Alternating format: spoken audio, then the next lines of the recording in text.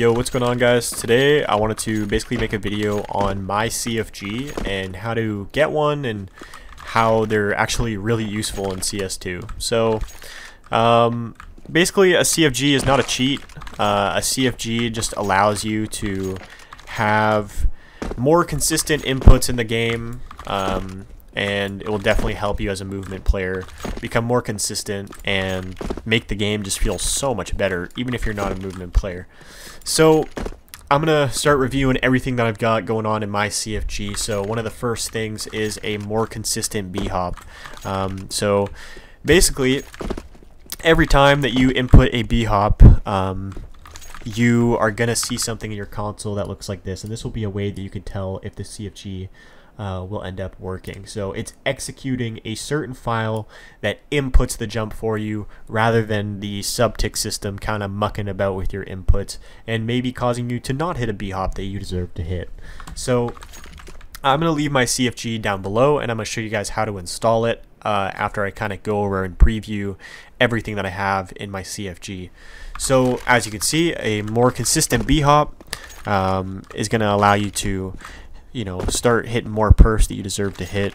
Um, and yeah, so next, nulls. Uh, nulls are basically a better strafe. Um, the subtick system in CS2 doesn't only mess with your keyboard uh, inputs and your mouse clicks, it does interfere with the way that you aim. And if you guys remember when the game first dropped, your aim kind of felt a little bit funky and it felt weirder. And not only will this help you with strafing, but it will help you with the way that your mouse moves on the screen a little bit. Um, it's not an insane difference, but it does make a big difference if I remove this file uh, from my CFG and then I would definitely notice a difference, and I did when I installed it. So it allows you to have better and more consistent strafes for when you're trying to b-hop around.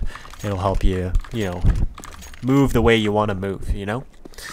So next uh, would be your D-subtick binds. So if you actually look at my keyboard and mouse, you go to my movement binds, it actually says I don't have W, A, S, and D bound, and some of the other things in my uh, my controls there aren't bound.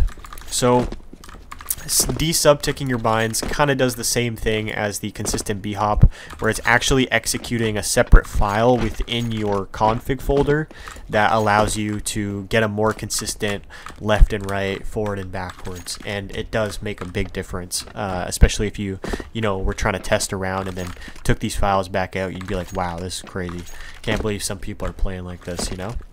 So you got a better uh, and more consistent uh, crouch, forward, backwards, uh, and left and right, and then you got the consistent b-hop, and then you have a jump bug bind. And I am not going to review the long jump bind because I hate long jump binds, and I think that as a player you should learn how to do them vanilla because it is a very core mechanic and it's a very easy mechanic, and I think it'll make you a way better player learning them without a bind than learning them with a bind. So but a jump bug is in a different category. I think that a jump bug is great to have a bind for. And a jump bug basically allows you to get a standing jump height uh, from a b-hop. So if I b-hopped here, as you can see, I can't get on top of red box at all. But if I'm standing still and I jump once, I can gap on top of it. And a jump bug, um, it actually allows you to get that, that standing jump height out of a b-hop. And it also allows you to kind of reset your string of b-hops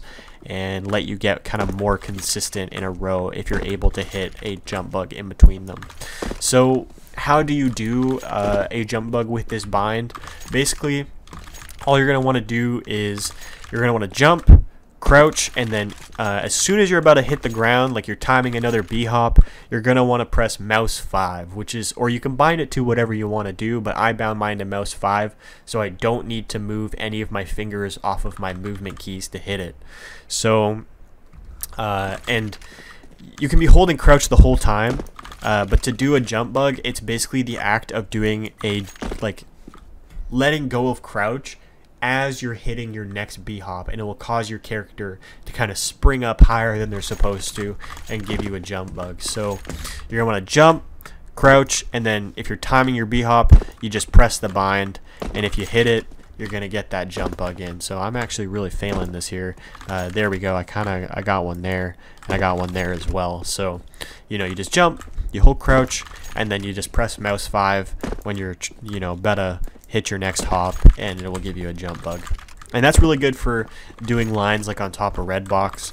Uh, I'm not gonna try it because uh, it will take me a while, but you can actually jump bug off of this thing and get up on top of this off of a b-hop but as you can see if I tried doing that without a jump bug it's not possible so yeah that's also in there and uh, there is an LJ bind in there but it doesn't work so if I actually input my uh, LJ bind as you can see here the check W does not work and I don't know how to fix it um, and I just recommend not learning how to LJ with a bind. It, it, it peeves me. Um, so yeah, that's everything that's in my my CFG, and now I'm going to show you guys how to get to the folder to put everything into, because I'm going to leave a download uh, to my CFG in the description. So what you're going to want to do is you're going to want to come to your Steam library here. You're going to find CS2. You're going to right click it. You're going to go to Properties, Installed Files, and you're going to want to click Browse. And you're going to go to, once this opens up your File Explorer, you want to click Game. CSGO, CFG, and then in this folder is where you're going to drag and drop everything in this file that I have for you.